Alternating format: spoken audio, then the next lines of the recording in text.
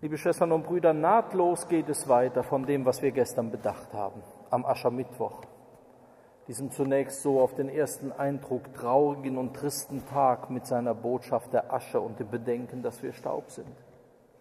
Wir sind gestern auf den Weg geschickt worden nach Ostern.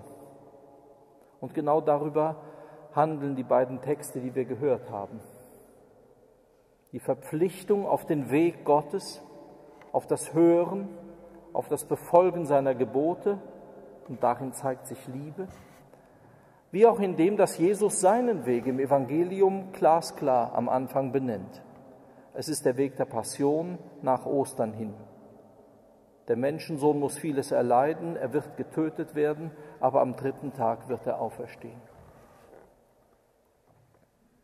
Es ist also ein Weg des Lebens, den wir beschritten haben, nicht ein Weg zum Tod nicht ein Weg, der sich im Staub verliert. Es ist ein Weg, der aus unserer Misere herausführen soll. Aber ist es nicht schwer, beides zusammenzubringen? Wähle also das Leben, beschwört Mose im Namen Gottes das Volk Israel, beschwört uns heute. Wählt doch das Leben. Aber wie kann man das Leben wählen, wenn man sich selber verlieren soll? Wenn wir alles Mögliche gewinnen, möglicherweise die ganze Welt, aber am Schluss ohne uns selber dastehen. Wenn man, wenn man es wörtlich übersetzt, seine Seele verliert. Es gibt keine Übereinstimmung mit sich selber. Sind das Teile, was uns ja manchmal unterstellt wird, dass wir die abspalten müssen, die wir jetzt ein bisschen in der Fastenzeit drangsalieren, die wir ein bisschen mit Askese sozusagen nach Vordermann bringen? Aber dann sind wir ja wieder nicht ganz bei uns. Dann sind wir ja wieder nicht in Übereinstimmung mit uns selber, mit unserem Glauben, mit unserem Leben. Ist das das Leben? Wenn man auf die geistlichen Erfahrungen früherer Generationen hört, wenn man in ihnen liest und sich von ihnen beeindrucken lässt, gibt es immer wieder Antworten. Manchmal sind es nur kleine Spuren, aber es sind Antworten. Und ich finde, wir sollten auch lernen, sie wahr und ernst zu nehmen. Wie bringt man das zusammen?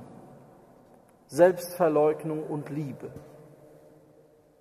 Den Weg des Kreuzes, der Passion zu gehen, der dann zum, zu einem Lebensweg wird. Die frühen Zisterzienserväter haben eine solche Spur gelegt. Wilhelm von Saint-Thierry schreibt am Ende eines großen Bußgebetes, das ich jetzt gar nicht ganz vorlesen will. Er flieht auf einen Punkt hin, den Jesus heute im Evangelium andeutet. Wenn er spricht, dann mündet das ganze Gebet hin. Herr, lass mich teilhaben an deiner rettenden Umarmung denn ich wünsche mir so sehnlich, dein Kreuz ganz und gar mit dir zu teilen. Es ist jenes Bild, jene Vorstellung, die bei diesen Zisterziensern zum ersten Mal auftaucht.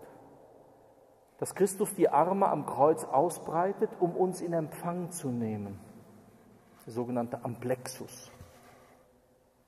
Die Umarmung vom Kreuz her. Das ist das, was Jesus meint. Er verleugne sich selbst. Es geht nicht mehr darum, es geht auch bei den Frommen nicht darum, dass ich mein Kreuz groß herausstelle, sondern alle Kreuze, die kleinen wie die großen. Alles Glauben, alles Lieben, alles Selbstverleugnen hat einen Fluchtpunkt. Und wenn wir den wählen, liebe Schwestern und Brüder, dann wählen wir das Leben. Wenn wir Christus im Blick haben, in seinen geöffneten Armen am Kreuz, dann wissen wir, wo wir uns bergen können, wo unser Kreuz seinen Platz und seinen Sinn findet und wo dann auch nicht Schlusspunkt ist, sondern Beginn neuen Lebens.